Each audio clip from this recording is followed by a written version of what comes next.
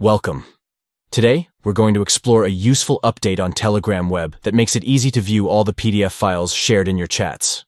If you often exchange important documents and want to keep track of them, this feature will be a lifesaver. Let's get started. First, open your web browser and navigate to web.telegram.org.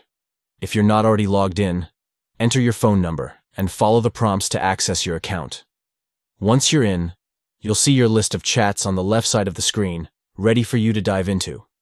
Next, you need to find the chat where the PDFs have been shared. You can scroll through your recent conversations or use the search bar at the top to quickly locate the specific chat you want. Once you've found it, click on the chat to open the conversation. Now that you're inside the chat, look at the top of the screen for the chat's name. Click on it to open the contact info panel. This panel provides various options related to the chat, including media files, links, and documents. Once you're in the contact info section, look for the Files tab. Click on it, and you'll see all the files that have been shared in this chat, including PDFs. This section neatly organizes everything, making it easy for you to find the specific document you need. As you scroll through the list, look for the PDF files. If you spot one you want to download, simply click on it.